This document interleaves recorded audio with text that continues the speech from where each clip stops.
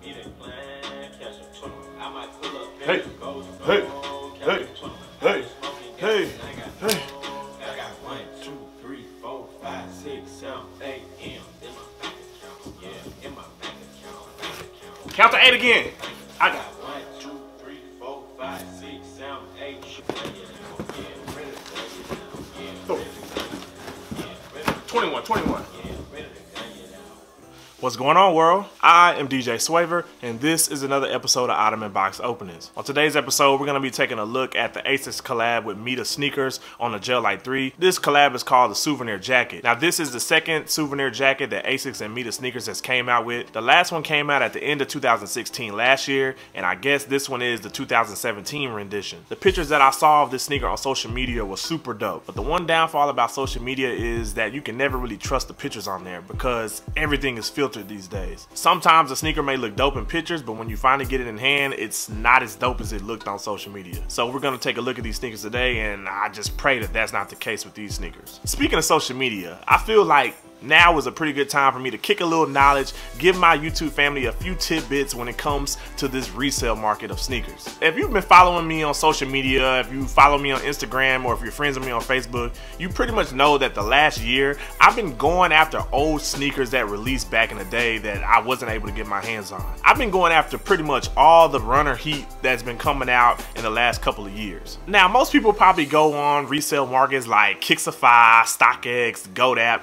to get shoes shoes that they weren't able to get when they released. Although those three and a few other like popular resale websites are avenues that a lot of people use, I'm pretty sure the main avenue people use to get older sneakers is through social media. I mean, let's be real. We're all on social media most of the day. So of course, it makes sense that the easiest way to get a pair of sneakers that you want is through social media. All you really gotta do is type in a certain hashtag, hit search, and then a million pictures of the sneaker that you probably want pops up. I guarantee about 90% of those pictures are people trying to sell that particular shoe. Now, with all that being said, I'm telling my YouTube family, be very weary of buying sneakers from people on social media. I've seen so many people get scammed and ripped off through social media that it doesn't even make sense. It seems like that's the thing to do in today's society, just scam people out of their money. And it's not even just sneakers, it's makeup, it's clothes, hell, it's even wigs. Social media is a scammer's paradise. If you're gonna buy shoes through social media, do your due diligence and research. Research could be as simple as going on their page and looking through all their damn pictures. I mean, go back to pictures from 2015 if you got to. Even if the pictures look legit, go in their comment section and read through all the comments. Oh, and I gotta tell you this, just because somebody's page has a boatload of followers does not make them legit. A lot of these resellers be having like 40,000 followers. You'll go to one of their pictures and it'll only have like 10 likes. Suspect. Even though most of the time you pay through PayPal and you're protected, it's still still just an inconvenience to get scammed. You'll eventually get that money back, but who wants to wait months for you to get your money back from PayPal? Most of the time, if I buy a sneaker from somebody on social media, I was likely referred to them by somebody that I know personally. At some point, we've all gotten got in this sneaker game. Even if somebody says they haven't, Everybody has bought a fake sneaker at some point. But the key is to be aware of the signs and avoid that shit if you can. If you're looking for a shoe on social media and you go on their page and they have that shoe but something doesn't look right, follow your gut. Because more likely your gut is telling you, bruh, do not buy that shit. If you follow your gut when it comes to this social media buying, I promise you, you'll never go wrong. But enough about all that. I'm gonna assume most of y'all already knew the stuff I was talking about but if you didn't, I hope that tidbit of knowledge helps you out in the future. I know the real reason y'all came to this video was to see this dope sneaker, so without further ado, let's get to it.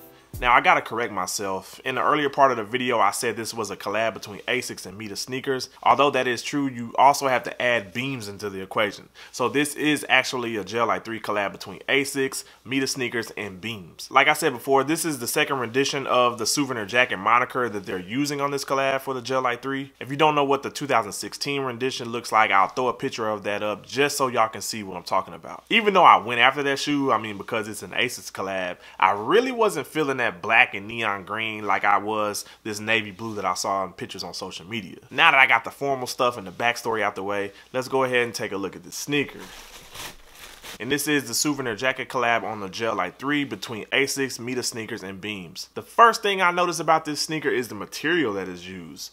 I don't quite know what it is. This is beautiful. What is that, velvet? Yeah, this is definitely velvet. One thing I will say is that the pictures I saw on social media of this shoe look like the sneaker in hand. The main feature to me of this sneaker is that toe box. You have that velvet velour material all over the toe box. Best believe when you take a step in this sneaker, it's gonna crease. But I can already tell it's not gonna be a crease that's gonna make the shoe look bad at all. Around the toe capping area is a nice quality suede. You can even see the brush in this video. Going into the middle portion of the shoe, the Asics Tiger logo is made in that same quality suede that you see around your toe capping. Underneath the ASICS logo, you have that same velvet velour material that you saw on your toe box. As with the 2016 rendition of the souvenir jacket, the 2017 edition also has Japan stitched in the heel portion of the shoe. I'm not quite sure where Beams is. Somebody let me know down in the comment section, but I know for a fact that Mita Sneakers is in Japan. I'm gonna assume that's paying homage to the country that Mita Sneakers is in. You also have a navy blue midsole that matches the upper of this shoe. Something about having that navy blue color from the upper to the bottom sole of the shoe is a plus for me. Another nice touch I'm loving to this shoe is the bottom sole of the shoe. The translucent sole lets you see the artwork that they have inside of the sole of the sneaker. Another nice accent to this shoe that gives you that dope Japanese vibe. Another dope accent to the shoe that I just fell in love with is that tiger logo stitched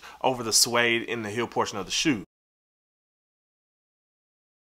It just adds another layer to the dope Japanese vibe of this sneaker. Going into the inside of the shoe, the Asics Tiger logo is in a nice white suede. Just adds a little pop and character to this sneaker. Underneath that white Tiger logo is the same velvet material that you have on your toe box. As I said before in a number of previous videos, when I get a collab, I want to see the sneaker boutique that's doing the collabs branding all over that sneaker. Although Mita and Beams don't have that branding all over this sneaker, you do have Mita stitched in white on the split tongue of the sneaker. You also have Mita sneakers branding on the insole of the shoe. Never understood why people put branding on the insole of the shoe, but I don't know, somebody loves it. Just letting you know that this is a Mita Sneakers collab. The sneaker also came with another pair of navy and white rope laces. I feel like the laces that came with the sneaker go better with the sneaker, just give it more of a cleaner look to the shoe. I feel like these navy and white laces might be doing a little bit too much. I may put them in just see what they look like, but I'm pretty sure I'm gonna stick with these flat navy laces that came inside the sneaker. The left sneaker completely mirrors the right sneaker, so I'm not gonna repeat myself and sound redundant. I really just wanted to show y'all that on the left sneaker, you have beam stitched on the split tongue